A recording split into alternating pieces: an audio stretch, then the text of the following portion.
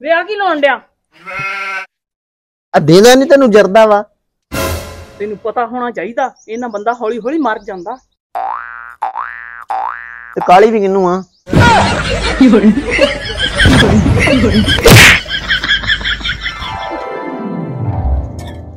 ਤੂੰ ਕਿੱਥੇ ਚੱਲਿਆ ਡੋਲੂ ਲੈ ਕੇ?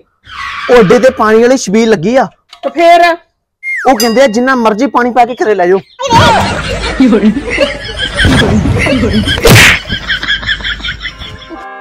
ਹੈ ਨਾ ਡੀ ਤੈਨੂੰ ਅੰਗਰੇਜ਼ੀ ਆਉਂਦੀ ਆ? ਆਉਂਦੀ ਦਾ ਤਾਂ ਮੈਨੂੰ ਪਤਾ ਨਹੀਂ ਪਰ ਚੜਦੀ ਬਹੁਤ ਆ।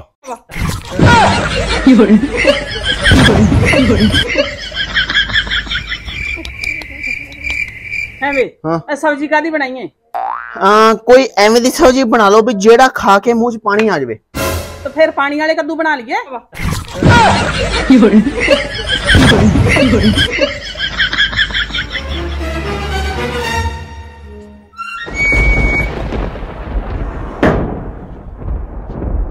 ਅੱਜ ਫੇਰ ਆ ਗਿਆ ਬੀੜਾ ਫਕੇ।